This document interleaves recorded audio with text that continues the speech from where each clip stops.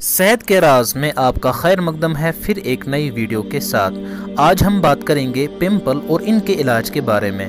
صحت سے ریلیٹڈ ایسے ہی ویڈیوز دیکھنے کے لیے اس چینل کو سبسکرائب کر کے بیل آئیکن دبائیے تاکہ ہماری ویڈیو بآسانی آپ تک پہنچ سکے۔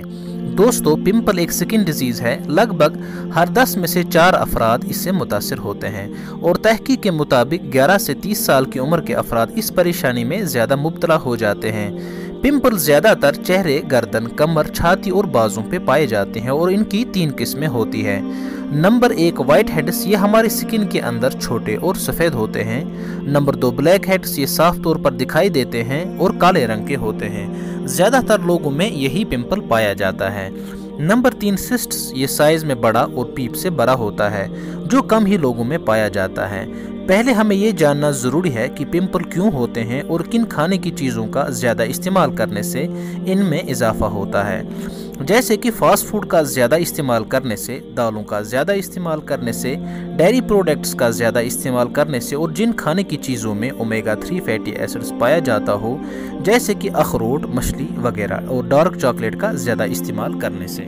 چہرے پہ کریم کا زیادہ استعمال کرنے سے ہماری سکن کے وہ سوراخ بند ہو جاتے ہیں، جن کے ذریعے ہمارے جسم سے خارج ہونے والے آئل کی روانی اور آکسیجن بند ہو جاتا ہے، جو انفیکشن کی وجہ بنتے ہیں اور پمپل کی شکل میں ابھرتے ہیں۔ اس پریشانی کو دور کرنے کے لیے ہم آپ کے سامنے کچھ آسان اور گھریلو نسخے پیش کریں گے، جن کا استعمال کرنے سے آپ اس پریشانی کو دور کر سکتے ہیں۔ نمبر ایک، شہد اور ہلدی۔ شہد اینٹی آکسیڈنٹ اور اینٹی مائکروبیل خصوصیات سے بھرپور ہوتا ہے اور ہلدی میں اینٹی فنگل، اینٹی بیکٹیریل اور اینٹی وائرل کی خصوصیات پائی جاتی ہے۔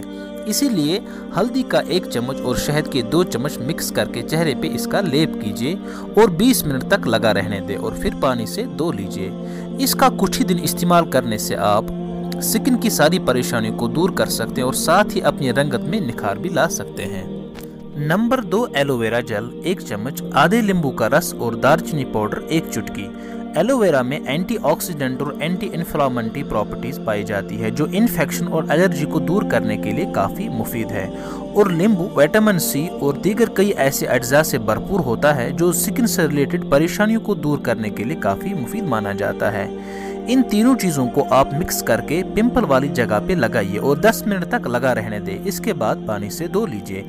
کچھ ہی دن ان کا استعمال کرنے سے آپ کسی بھی طرح کے پمپل کو ٹھیک کر سکتے ہیں اور اس کے ساتھ ہی پانی کا زیادہ استعمال کیجیے اور تازہ پھلوں اور سبزیوں کو اپنی ڈائٹ میں شامل کیجیے تو ان ساری چیزوں میں آپ کو جو آسان لگے اس کا کچھ ہی دن استعمال کرنے سے آپ اس پریشانی کو دور کر سکتے ہیں۔